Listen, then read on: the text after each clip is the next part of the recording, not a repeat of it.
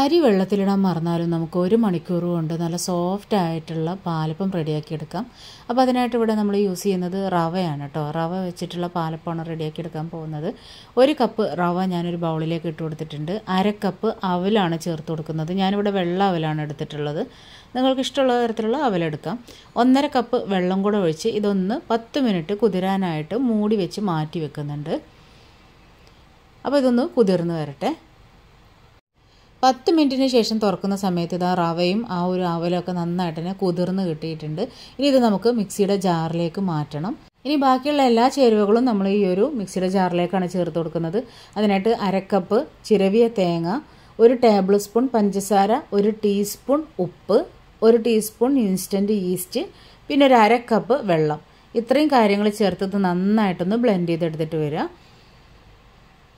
ഇനി ഇത് നമുക്ക് ഫെർമെന്റേഷന് വേണ്ടിയിട്ടുള്ള ഒരു വലിയ ബൗളിലേക്ക് മാവ് ഒഴിച്ച് ഒരു മണിക്കൂർ ഒന്ന് മൂടി വെക്കുക അപ്പോൾ ഒരു മണിക്കൂർ കൊണ്ട് തന്നെ മാവ് നല്ല സോഫ്റ്റായി നല്ല പൊങ്ങി വരും കേട്ടോ അപ്പോൾ ഒറ്റ മണിക്കൂർ മാത്രം മതി. അപ്പോൾ അരിയോ അരിപ്പൊടിയോ ഒന്നും ഇല്ലാണ്ട് നമുക്ക് നല്ല അടിപൊളിയായിട്ട് നല്ല സോഫ്റ്റ് ആയിട്ടുള്ള പാലപ്പം റെഡിയാക്കി എടുക്കാൻ പറ്റും. അപ്പോൾ അതാ ഒരു മണിക്കൂറിന് ശേഷം ഞാൻ പാലപ്പം ചുട്ടെടുക്കുകയാണ് കേട്ടോ അപ്പോൾ ഒരു തവി മാവ് ഒഴിച്ച് ഒന്ന് ചുറ്റിച്ച് കൊടുത്ത് മൂടി വെക്കുക ലോ ടു മീഡിയം ഫ്ലെയിമിൽ വേണം ഈ ഒരു പാലപ്പം കുക്ക് ചെയ്തെടുക്കാൻ വേണ്ടിയിട്ട്. ഈ പാലപ്പം ചായയുടെ കൂടെ വെറുതെ കഴിക്കാൻ തന്നെ നല്ല ടേസ്റ്റാണ് കേട്ടോ. നടുഭാഗം നല്ലതായിട്ട് സോഫ്റ്റായി വന്ന് ഇതിന്റെ അരികൊക്കെ നല്ല മുരിഞ്ഞ് തന്നെ നമുക്ക് ഈ ഒരു പാലപ്പം കിട്ടും. അപ്പോൾ നല്ല ടേസ്റ്റി ആയിട്ടുള്ള പെട്ടെന്ന് തയ്യാറാക്കാൻ പറ്റുന്ന ഒരു പാലപ്പത്തിന്റെ റെസിപ്പിയാണ് അപ്പോൾ ഇന്നലെ നമ്മൾ ചോറും അതുപോലെ തന്നെ തേങ്ങയൊന്നും ചേർക്കാതെ തയ്യാറാക്കാൻ പറ്റുന്ന പാലപ്പത്തിന്റെ റെസിപ്പിയാണ് അപ്ലോഡ് ചെയ്തിട്ടുണ്ടായിരുന്നത്. കാണാത്തവരുണ്ടെങ്കിൽ കണ്ടു നോക്കാം. അപ്പോൾ ഈ ഒരു റെസിപ്പി നിങ്ങൾ ട്രൈ ചെയ്ത് നോക്കാൻ മറക്കരുത് കേട്ടോ.